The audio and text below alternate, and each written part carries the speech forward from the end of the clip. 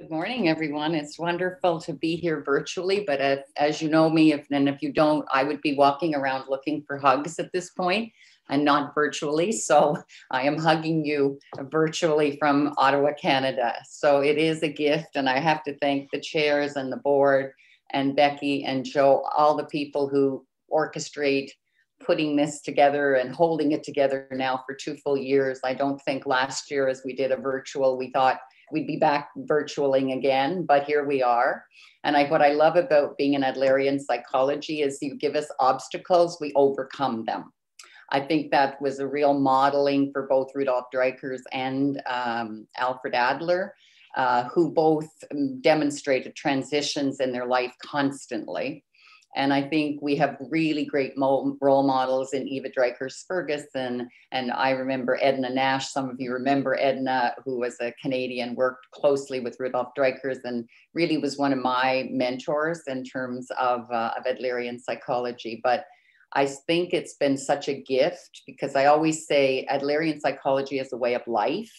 And yes, it is a psychological theory and practice, but mostly it gives us life skills to be the kind of encouraging, embracing, enthusiastic way of being in the world. You know, I think when I when I first was introduced to quotes positive psychology, I laughed to myself thinking, I think we had positive psychology in the early 1900s, led by Alfred Adler. Um, so it's always fun to watch what's happening in psychology and in education because it's as if everything that gets created is new. And as you know, we are intergenerational beings, and therefore, very little is new. We just repackage it. So, this morning, we're going to be talking about transitions, and we live in transitions, and we're always faced with transitions. And I use the word turbulent times because at this point, I think what's happened to all of us is that we can't quite get our, our bearing. We, we can't reason ourselves into and out of the pandemic. Uh, it's just been somewhat of a surprise and and relate, relates to helping us to feel like we look to community then and seek community and i think that's where CASI has served such a great gift from around the world is it offers us a community to come together and i agree the Sabina leading us in, in the monthly or biweekly uh, meetings has been really cool and being able to just show up and there everyone is. So thank you. Uh, today I'll take you through some of your transitions and you will be working. I'm known as a as a person who generally I give you material, but I also expect that you're working along with me. Um, so if I think about Alfred Adler and Rudolf Dreikurs, I think that in many ways they they lived in very turbulent times. And i think as we go through the presentation we'll talk about what was happening with adler when he was working in three hospitals uh, at, at the turn of, uh, during the world war and then of course all through the the plague. So there are many many similarities in some ways to what we're living today but the difference is of course we're living in an information age. So people are not isolated. We can actually know a lot more than we ever knew before so if we look at the word turbulent, it really means not calm, not controlled, stormy, um, a lot of confusion, perpetuates conflicts, and often feels like we are in disorder. And so I think that that's where we look to Adlerian psychology now to kind of um, figure out what it can help us with in, in getting started into our lecture this morning. So here's a visual that probably could be anywhere in the world. Uh, I don't know about how you've adjusted to masks, but I think right now it's almost become our are a part of us. And so I have masks in my car, masks in my purse, masks in pockets, um, because it, we are still working through in Canada uh, where we don't have the freedom that some of other countries do yet. Um, and so I'm very comfortable now, I must say, wearing masks. And I'm not sure at what point we're going to feel completely safe enough to move without them. So, in times of uncertainty, what we see is new dynamics appearing and old ones intensifying. Uncertainty for any human being increases fear. And as fear rises, we focus on security and safety, the tendency to withdraw and go inside ourselves, we kind of at times can be more self serving. We get caught in what will be good for me rather than what will be good for all. We can become defensive. We sometimes focus on smaller details, what we can control. Sometimes it's more difficult to work together in COVID. Now, I've had the different experiences. I felt that people have stretched more, have accommodated more, have been attempting to, to kind of work with uh, others but I do believe that many people also have struggled to work together or to be very isolated. It's very hard to focus on the big picture, and in the information age, the pictures are so big that it often actually overwhelms us. Um, so, when we deal with psychological impacts of fear, stress deprives the human brain of the ability to see patterns people become reactive. And we've seen this in our country where uh, the vaccines were slow to have uptake and, and uh, they also didn't, we didn't have the numbers at the beginning. And people, you could bring, it brought out the worst in people as well as the best in people. We lose capacity to see our lives as part of the larger system, that this isn't happening just to me.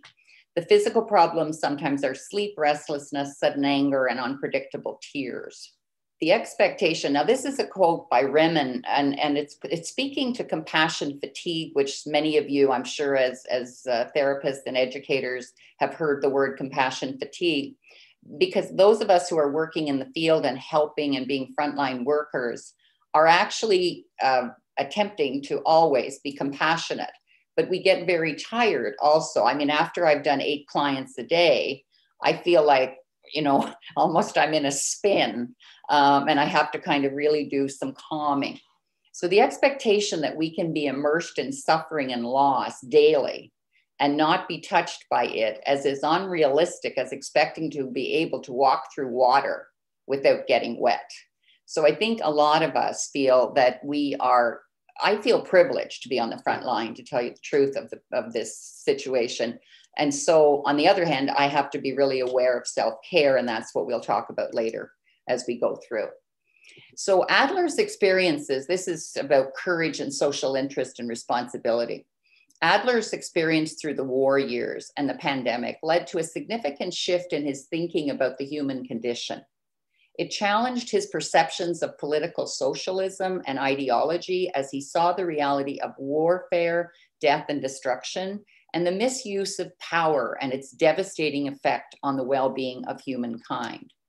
He spoke not only of the illogic of war and conflict, but established a psychology that reflected a worldview of cooperation and collaboration, nonviolent problem solving. He called for courage and risk taking and personal responsibility for individuals to be willing to contribute to, make, to the making of a nonviolent cooperative world. To quote Adler, people always make mistakes if they do not see that their whole significance must consist in their contribution to the lives of others. And in fact, social interest was one of the byproducts of Adler's experience in, in the war, but also in the in the, the, the hospitalization and the illnesses and the, the death that he witnessed after the war. So in many ways, we are indebted that that in some ways, every experience that Alfred Adler had, as was true of Rudolf Dreikurs, affected their theory, uh, altered their theory. They worked to update and be current in terms of their beliefs and the positions they're taking about what is what is happening and what do we as individuals need to do and how do we do it as communities and how do we create social equality and, and social connection so Alfred Adler stated, it is the individual who is not interested in his fellow men who has the greatest difficulties in life and provides the greatest injury to others. It is from almost, it, it is uh, from among such individuals that all human failure springs. So, in many ways, what came out of this time for Adler was the whole concept of Gemeinschaftsgefühl, the community feeling. And for Adler, a meaningful community exists only within the, an environment of social equality. He encouraged political and social activism and for individuals to take responsibility for their broader community and ultimately the world. So this man didn't think big, I, as you can tell. In other words, he, he actually believed from a very young age that he could overcome. Uh, and if any of you remember the stories of Adler, he was a young man who had many, many challenges in his childhood uh, and many transitions in his life. Uh, he, he was um, a child who could not move. He, his legs were bandaged from a very early age, and he would sit watching children play but not be able to participate. Um, he also experienced two to three car accidents in his life under the age of 10. He was hospitalized often. And in those days, when children went into hospital, the parents could not visit. And so he spent quite a lot of time overcoming and being in, in some ways in charge of his life from a very, very early age. Now, he talked a lot about early recollections, early memories. Um, and this is a little girl, probably around the age of four or five, kind of looking at the world and, and observing the world. And, you know, one of the quotes of Adler is We are wonderful observers, but often poor interpreters because we see what we see, but then depending upon our experience, our age, our education, our understanding of the world, ourselves, and others, we make decisions. We make we draw conclusions. And those are sometimes mistaken beliefs about ourselves, about the world, and about others.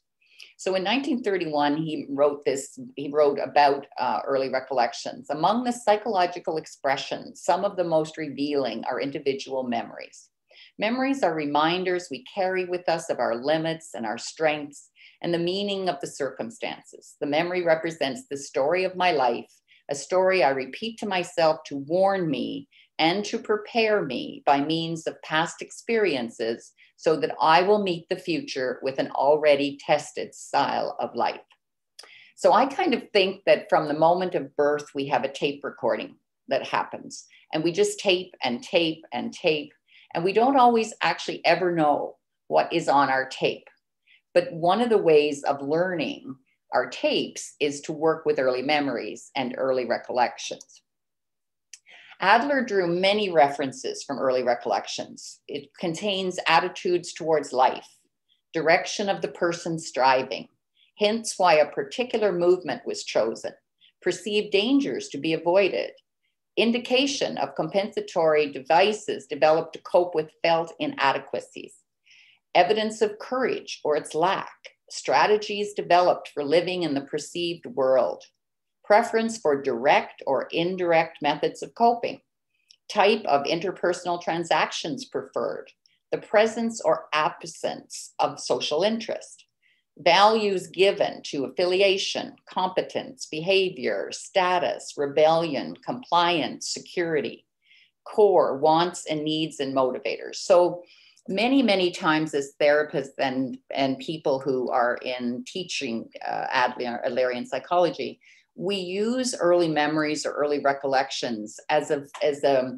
a way of demonstrating that we always are moving from the, the minus to the plus and always in movement toward. And so I felt that in looking at transitions, one of the best things to start with is an early memory. So, what I'd like all of you to do, I'm hoping you have a piece of paper and a, and a pen handy. I want you to go back into your life under the age of 10. Now, for some of us, that's a little far back these days, but I, am sure you'll be able to pull something. And if you can't go under age 10, go under whatever age 15, 20, but particularly if you can get into your childhood, that's kind of important. So choose a memory related to coping with change or a transition. So, for instance, you may have moved houses, going to school, a child may have been added to the family. Um, so there's lots of transitions that children experience that they don't get any say in. They don't get any decision making in. And so I wanted to have you look at a memory to see what it's going to already tell you about your transition so that when we move forward into looking at the steps of a transition, your, your story will make more sense. So, what you're going to do is describe what you see in the memory, focusing on the child's experience. What feelings does the child experience within this memory? What strategies did the child use to manage this change and transition? So, would you just take a few minutes and find a memory? It can be any memory. Don't judge it. It's not good. It's not bad. It's just a memory uh, related to change or a transition that you experienced under the age of 10. Describe what you see in the memory, focusing on what the child is experiencing, what are the feelings, and what are the strategies that the child used to manage it. So just take a few minutes and then we'll be working with a memory. So we're going to come into your life today and staying with the memory and ask yourself how are the strategies and feelings different or the same in your life today? So if you're facing a change or facing a transition, how are the strategies and the feelings different or the same that you used as a child? Because as early memories teach us, the lessons we learn as a child are often the private logic, the way we decide to see ourselves, see life, and see others.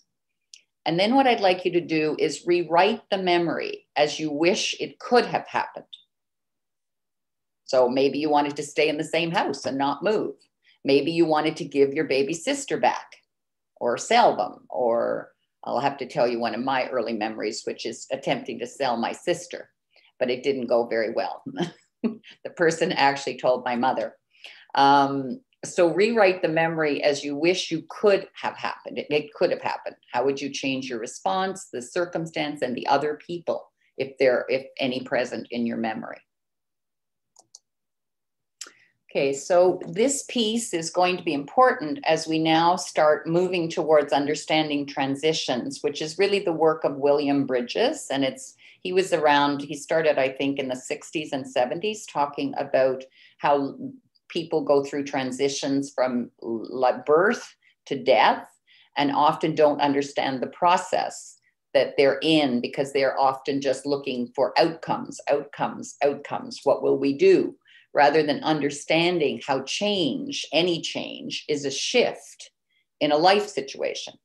So if we moved neighborhoods, even, you know, in, in the same place. If we lived with our grandparents and our parents, and then all of a sudden the grandparents moved, or we changed cities, or you went to school, or people came to live in your house that weren't living there before. So any change in a shift is a shift in a life situation.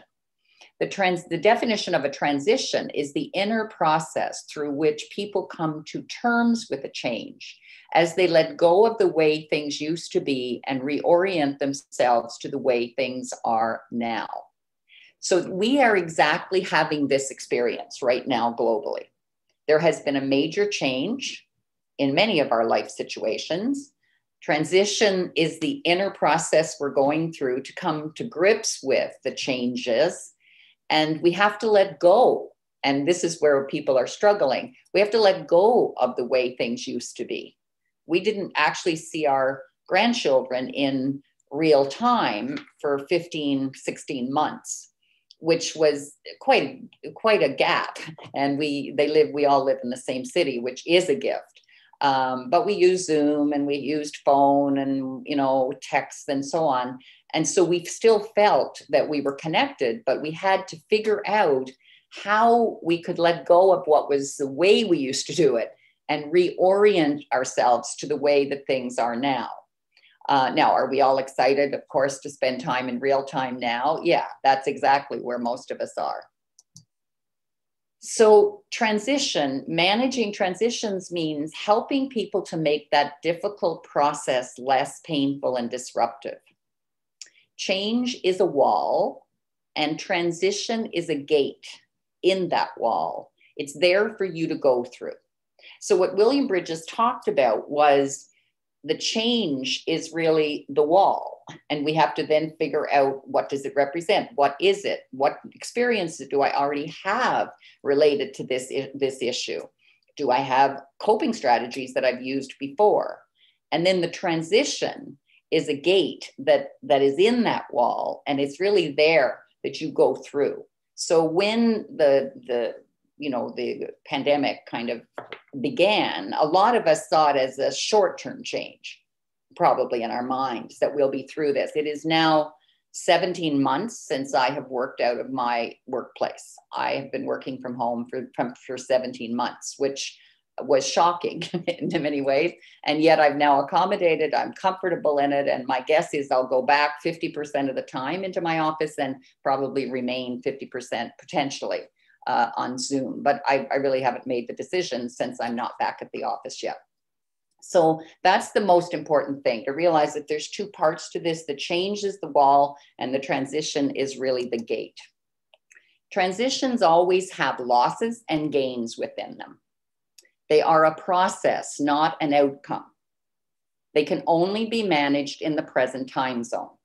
And one of the biggest challenges we have now are people living in the past, living in the future, and refusing to work within the present, which is the only influence we still have in the pandemic, is what are we going to do today? What are we going to do on this decision? What are the options we have? What are the choices we have? But if we are always looking back, saying, well, it was better before, it was definitely better before, I can't believe it. If we only focus on the losses of what's happened, then basically we're not able to move and accept the change and, and work with the change. We actually resist it.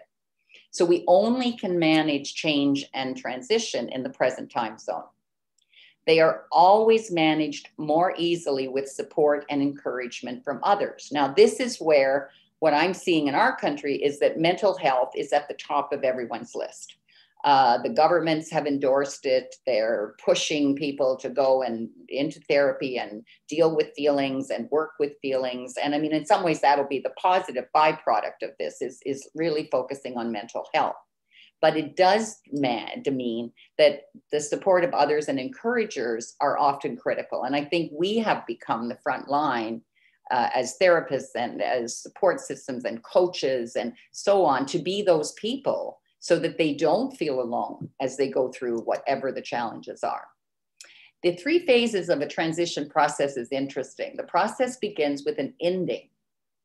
We have to let go of the way it was. So if I have lived in a long term relationship and that relationship ends, I cannot spend forever back in the relationship I had. At some point, I have to let go and move into the next stage of my life which is accepting that that's not part of my reality at the moment, which doesn't mean I can't remember, but it's not staying there. I have to let go so that I can move to the neutral zone, being in two places, old and new.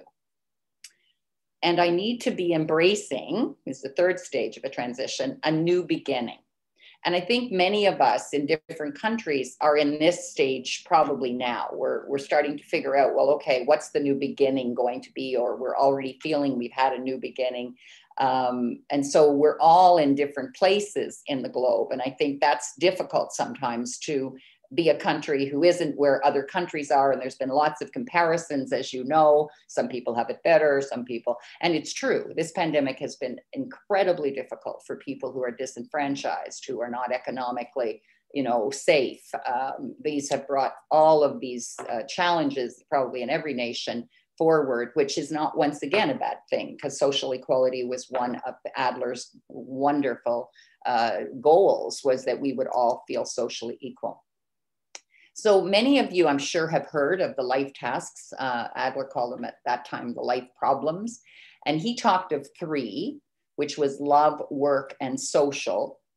And then Harold Mosak and Bernie Shulman, who were followers of Rudolf Dreikurs and lived in Chicago, developed two extra or two added life tasks um, the spiritual or the meaning of life, and the creative power of the self, which was uh, in the center. So, this schema is a way of kind of looking at our lives and trying to figure out all right, so if I look at my life today, am I in what, where am I in transitions? Is something changed in my love relationships in the sense of my intimate relationships? Is something changed in terms of my work? Is something changed in terms of how I'm managing and working with myself and my health and my mental health? Your spirituality, your meaning of life? Has that changed during pandemic? Have you made new decisions like Adler did actually after the war uh, to rethink and add the concept of social interest, which was one of the greatest, I think, gifts to the world, to consider the concept of having social interest around the globe. And have you in your social relationships, which seem to be a particularly difficult area for many people because they can't see friends, they can't go to their groups, they can't kind of feel, uh, accept on Zoom. So I want you to, for a moment, think of the five circles and just write any transitions that you feel you are coping with in any of these five circles. So, what's a transition you're facing? Have you started a new relationship in in uh, COVID? Have you, you know, started a new job, or you've changed your job, or you're gone part time? Um, have you been able to find ways to stay connected socially, or is that the loss? How are you coping with you? and then what is what is the meaning of life and spirituality has that changed as you've gone through this time so just take a minute and just put them you can draw the circles and just put tra- any transitions that you see that you have that might be right now uh, facing you because we're going to do some more personal work now on the transitions. So how many of you were able to find that you're in transition in one of the five life tasks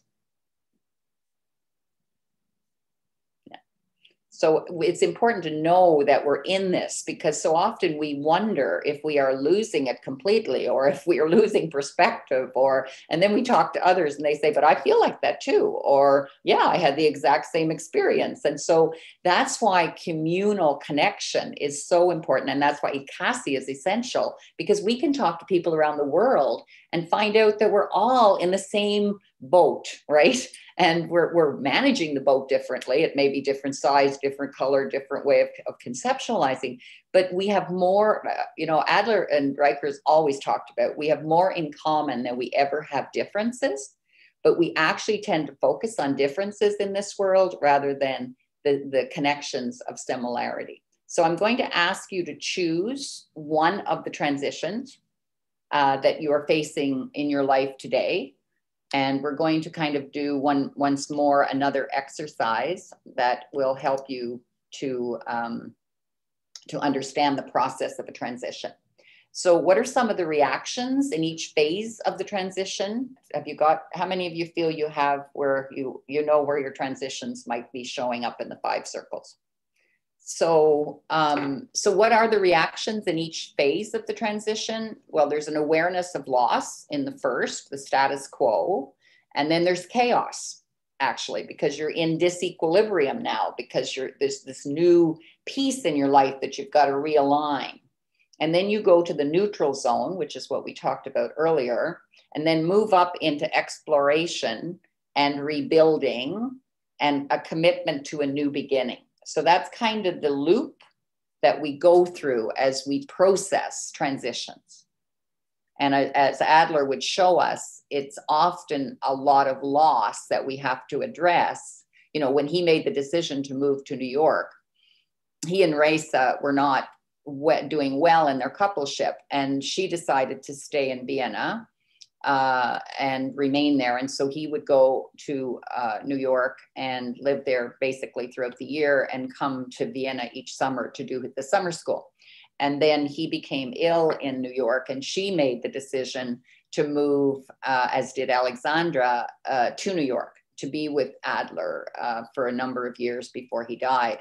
Um, and so they were always, he was also living in constant transition. I mean, if you think of his time of you know, time in Vienna, deciding that he literally was going to become more of a middle class and more disenfranchised, focused therapist and helper. That was an absolutely major commitment on his part. He worked with the circus people.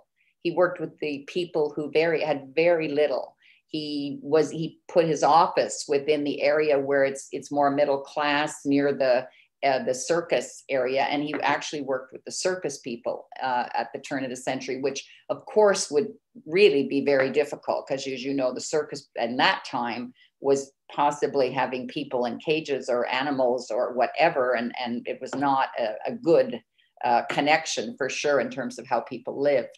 So Adler was a role model of always facing transitions.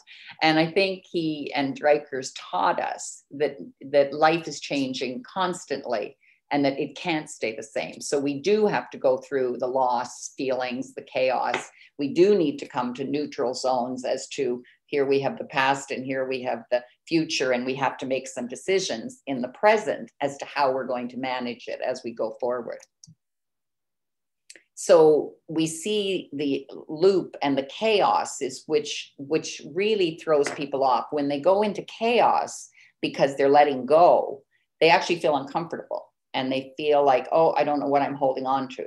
Does this sound familiar from the pandemic? I don't know what's really strong. And so they feel unbalanced. And then they have to then begin to reorient and to explain their story in a different way to move to a commitment to a new beginning. So, in some ways, courtship in a relationship, right, can be the beginning. And then there's sometimes is reevaluation and chaos and decision making and so on. And then we come to a new beginning whether this is going to be a relationship we're going to remain in or a relationship we're not going to remain in. But we are always in the process of change transition endings neutral zones beginnings and a resonance with what will work for me as well as there's resistance to change so there's always process and outcome in every successful transition. So where there's always an intention, right? We have a process that is always moving. We have an intention, as, as we know, movement is really what we watch when we are working in therapy. It's not what people are always telling us, it is also what is their behavior showing us and what is their movement towards and away from. Uh, what is the capacity we have? and what knowledge do we need and how do we move ourselves into a more reflective culture rather than a reactive culture so how many of you found that you could fill out um, uh, i'm just going to go to the questions now so i want you to choose the transition you're currently facing and outline your feelings, thoughts, reactions you are experiencing or have experienced when facing this transition. So, what feelings and thoughts and reactions were present when you were facing this transition? Because we know in Adlerian we have to look at feelings, thoughts, and reactions, which is movement, to understand how people are interpreting the reality. So, list all the losses that you feel you have going through this transition. So if it is a loss of somebody's life, um, you know, we've lost many, many people in, in the pandemic and COVID. And so there's losses that we are maybe grieving. And by the way, this is a grief process too. You have to kind of deal with loss and then decide how you're going to manage it and then move somehow into transition. And it takes time. So list lists the losses of in in this transition and the gains and what images come to you when you think of your transition. So if you tried to create a picture, what comes to you when you think of, of your transition? Because sometimes when we, and I often have pencils and crayons and, and um, pens and pencils so that people can draw the image that comes to them when they think of their transition. Because this is a whole other way at getting out the pictures in our head, the way that we're conceptualizing things. And when you look at it in a picture, sometimes you see what what's missing, what the other options are you may have, or the the gains that may be in moving forward. How is this transition affecting your life at present? So if if let's say you're at the moment, I have many people who are rethinking the workplaces they're going back to and whether they're going to return back into the old workplaces. I have many people, we have a very high rate of separation and divorce in our community right now in terms of couple work. Um, and so very much there's people are really making major choices at this point uh, in redoing and redirecting their lives. What phase of the transition are you living in now? Are you in a letting go? Are you in a neutral zone? Or are you in a new beginning? What coping strategies would be or have been most helpful in managing this transition? So, sometimes it's good to talk to people who've already been through something that you're going through, or sometimes it's writing. I don't know if any of you journal or or keep you know notes on things that are going on and and how you can see the changes from week to week or month to month in terms of how you're feeling, how you're thinking. Uh, I've I've been journaling for a long, long time in my life, and it is interesting sometimes to go back and read 10 years ago or five years ago and, and realize that, wow, I've shifted in thinking about that or my feelings about it, or I've made a different decision about it. What positive action have you taken or could you take as a result of facing or working through this transition? So, what are your coping strategies and what positive action have you taken that could um, and you or could you take as a result of facing and working through the transition? So john were you able to find transitions in your life or? Definitely. Pretty much in every single of the five domains so it's definitely turned up for me and it, it did relate to my memory as well oh that's cool yeah as you finish the transition exercise go back to your early memory um, exercise and see if there's any connection that's quite clear about how you do movement, how you show up as, as a child, and how still today you may be utilizing or using some of the same coping strategies. Because remember that in times of stress, and distress, we often regress. We all, well, I'd say pretty much always, um, but we're always going back to our early private logic. And that's where we get so adamant. It's like, this is the only way. You know, I love when I'm doing couple therapy and then I'm doing family therapy, and everybody is sure they're right. Everyone is sure that their private logic is somehow superior or better or the right way. And I'm sure a lot of you are having that experience. And and it's it's I mean, I don't obviously smile, you know, as I'm listening, but it is amazing. So I will sometimes say to couples, can we just stop and we'll go back into your early childhood and see if you can pull a memory about the way that you observed arguments or what did you see in arguments as a child? How did people resolve differences as a child that you observed? Because so often we're using coping strategies that we learned under the age of 10 and the more insecure or upset or emotively uh, reactive we are the more we're back, as I call it, into our child logic. And what I love about my couples is when they get this concept and understand it, they can name it while they're in an argument with each other. They can say, Whoa, whoa, whoa, where are we? like I'm, and, and one man said to his, his partner, Well, I'm in the kitchen with my brother and he is bugging me. And I really think that he's trying to control me and I don't want it and I'm really mad. And she said, Hmm, well, I'm in my bedroom and I've just had an argument with my parents and I've walked out and I'm gone and I'm not going back down. so look at the look at the dance this couple is doing right one wants to lash out and be angry and the other one completely withdraws goes to the room and is never coming out again so you begin to help them and i use a lot of humor in my work because I think we have to lighten therapy up as well in helping people understand that our private logic is developed, as I see it, uh, you know, well under the age of 10, and, and we don't know it. So we're traveling along in life with this suitcase packed about how do we get our own way? What is love? How are, you know, people in coupleship supposed to act? um, how am I supposed to problem solve different than I problem solved when I was a little person? And the more stressed you are, and the more uh, kind of in turbulence you feel, the more you are struggling and often go back into how life should be, will be, must be, and they come in firm, you know. And I was working with a family recently with a 15 year old who is a non talker. And the parents are both problem solvers where you put your your issues on the table you write them down you negotiate and they have a, a, child who refuses to talk. And they had no skills. It was like they try to convince her. It's always better if you get it out. It's always better if you express it. This is really the best way to go. And of course, it makes her more adamant at the age she is that she's not talking at all.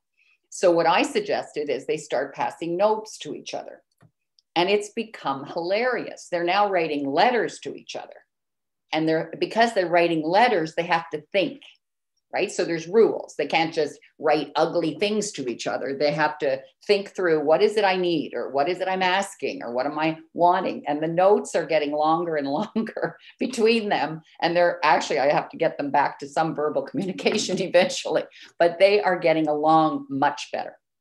And we don't have her hiding in her room as much because now we have a different way of communing or communicating with each other. So I think that our work as Adlerian therapist is really to understand that, you know, private logic is not ever not affected.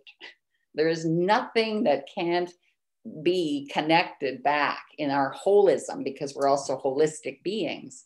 Um, and I think I talk a lot with my clients about social equality and what that really means and how do you do social equality and, and even discussing what does equality mean in a couple relationship with people? It's hilarious. I mean, I sometimes, and I, I'm very good at looking as if, oh, nothing shocks me. But there are, you know, quite things. We, I had one woman who said, uh, well, if you don't get your own way in the argument, like you're defeated. And then I lose hope. And I just, I just don't know. It creates my depression.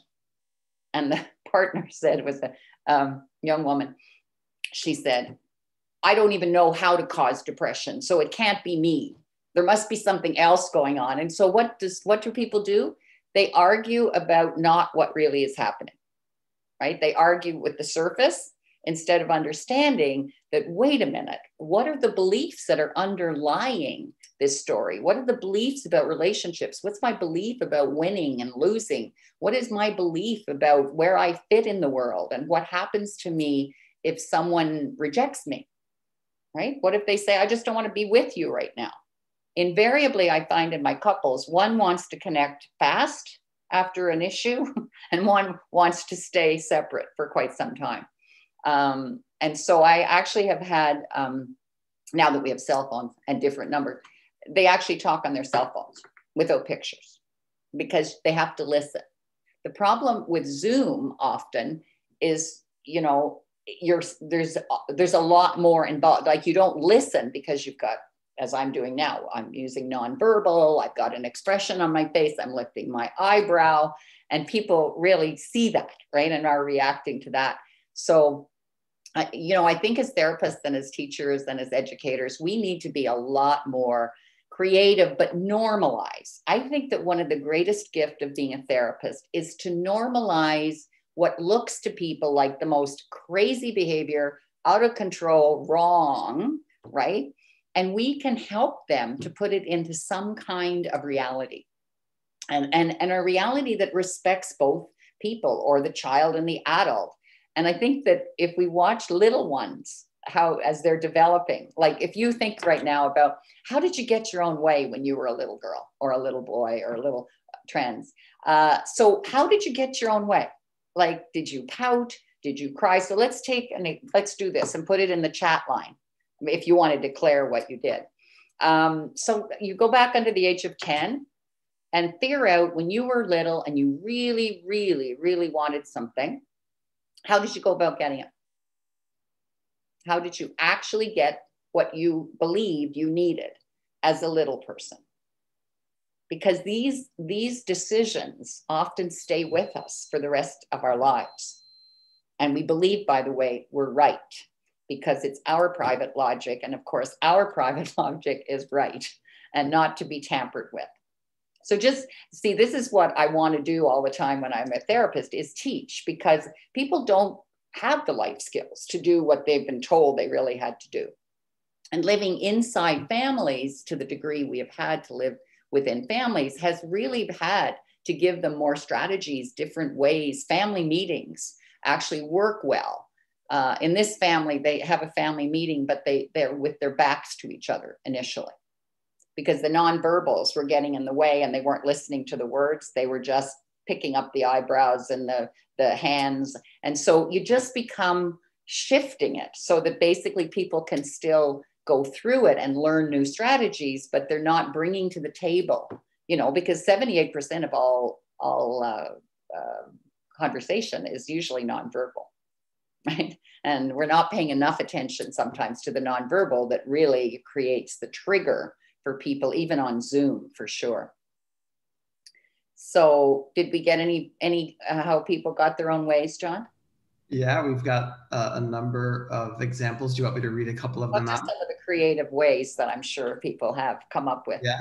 So um, one person said, I would argue uh, verbally and ins- insistently. Um, and then they said, now so do my children, and it bugs me with a smiley face. Uh, another person said, I had a tantrum to get them to listen.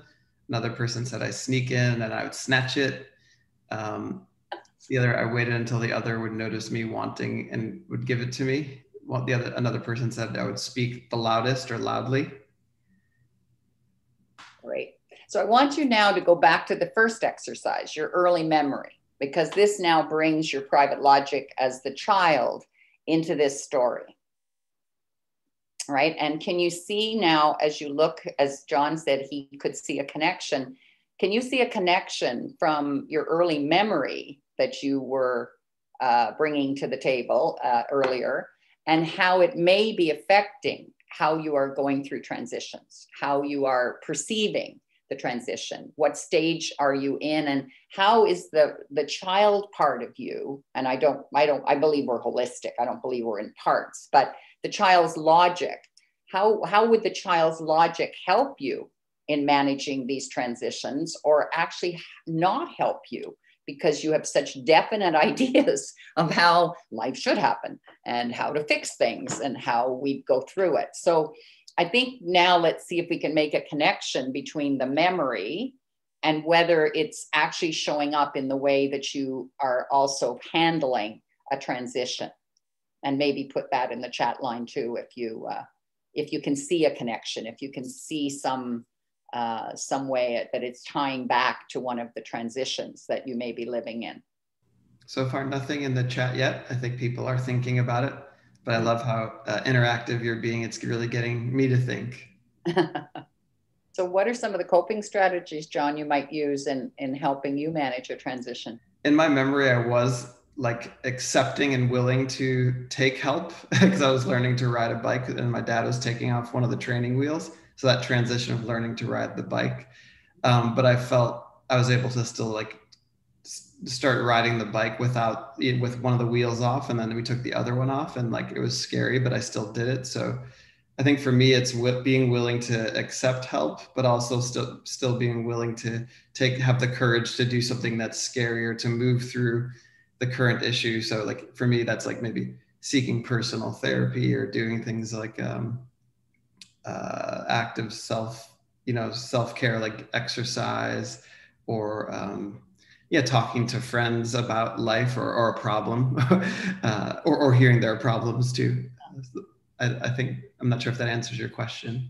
Yeah, I think that it's really important when you're working in change and transition, which we are all our, our histories and our lives, to remember that we made already a number of decisions as a child about life. And Adler is quoted all over the place, talking about sitting on a bench with band, legs bandaged, watching his older brother Sigmund. As you may know, Sigmund was his the elder brother, uh, and there was great rivalry between uh, sibling the siblings uh, between Sigmund and um, and Alfred, which of course we can look at forward and see that the rivalry with Sigmund Freud would somehow be connected or mirror some of the same feelings that Alfred had, uh, probably about Sigmund Freud potentially, but he also had about his brother.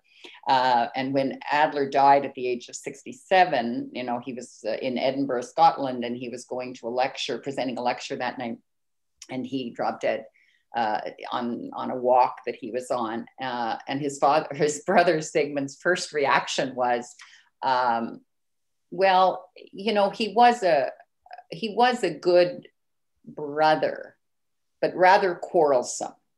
So, so you know, I I'm very very sad but and, and they said the look on his face was so funny. It was kind of like i'm really really sad but he really wasn't an easy brother so private logic connects and, and comes back to us in any transition that we have. And we also learned coping strategies as a little one.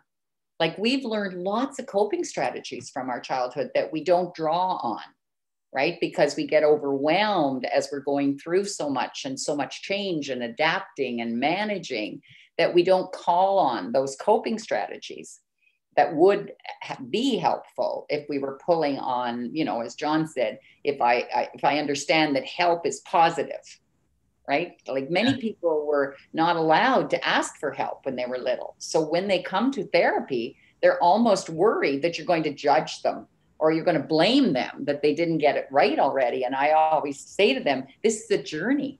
We're on a journey together. You're not supposed to know it all and figure it all out right now.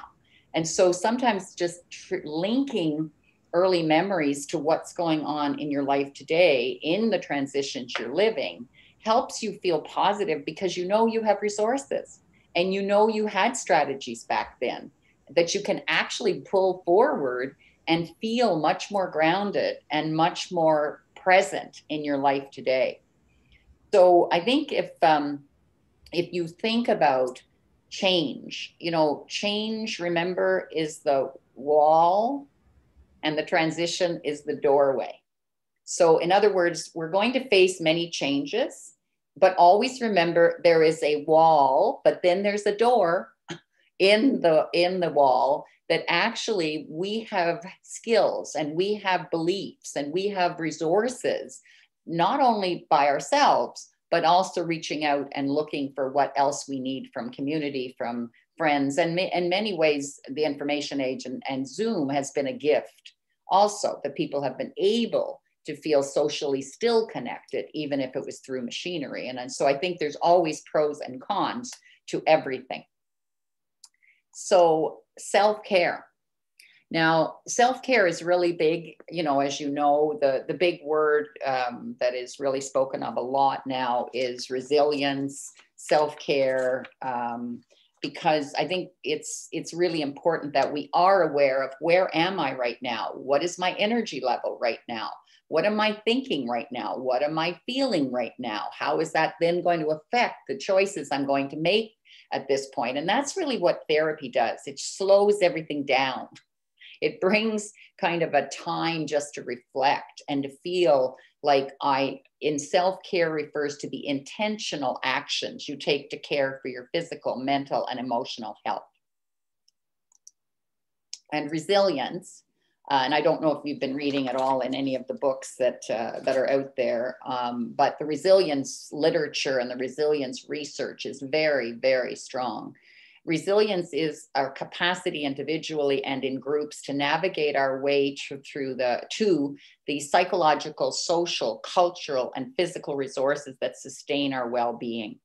So I, I, think it's really important that if you want to go forward with the material that we're talking about today, that um, you look at Michael Ungar's work or you look at you know William Bridges' work in, in transitions, because in truth, self-care and the understanding that we are resilient that we can go through things and we as you as adler and dreikurs both modeled we can learn from it we can make new decisions by it we can reflect and actually sometimes make a completely different turn than we ever expected we would make in our life.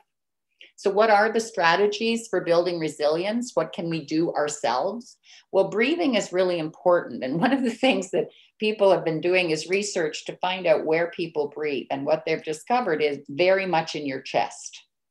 And many, many people have gone to emergency departments and thinking they were having a heart attack because they had held so long that basically they were reacting, their body was just reacting, it wasn't getting enough oxygen. So we are to do deep breathing regularly rather than up in our chest.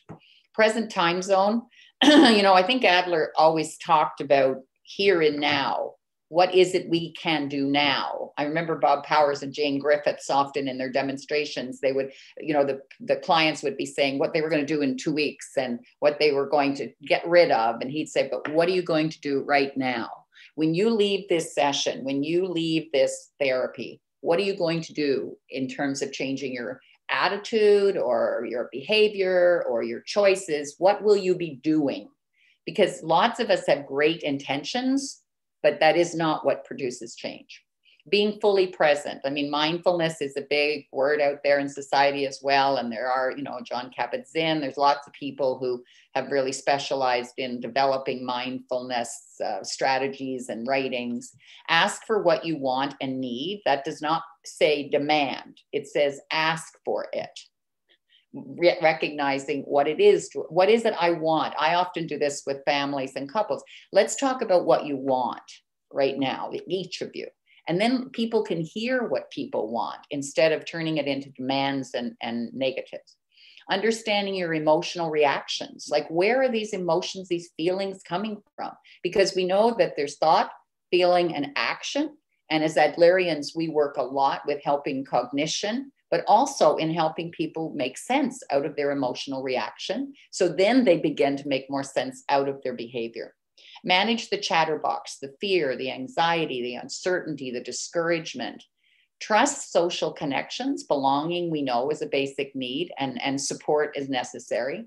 Ask for help. I must say, in, in Ontario, it's been so endorsed mental health that people aren't even questioning, they just are really ready to ask gratitude. You know, I think that as Adlerians, we have a, a philosophy, a psychology, a way of thinking that is optimistic. We are really an optimistic psychology.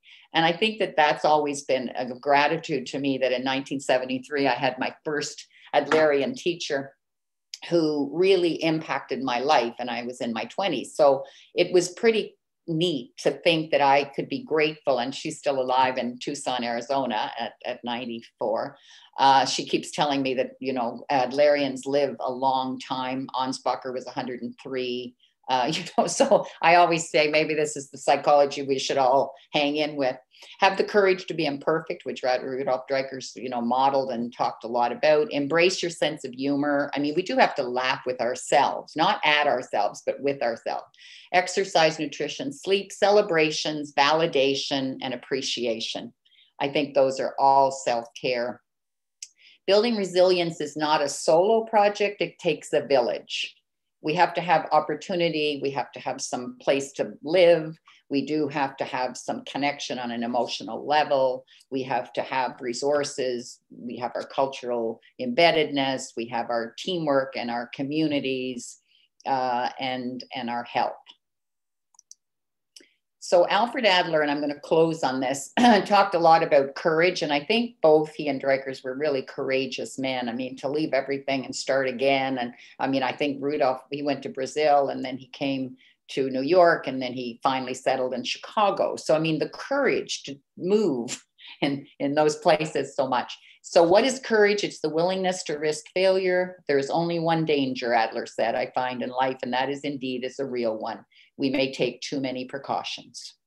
Courage is not, is not ability one either possesses or lacks. Courage is the willingness to engage in a risk taking behavior, regardless of whether the consequences are unknown or possibly adverse.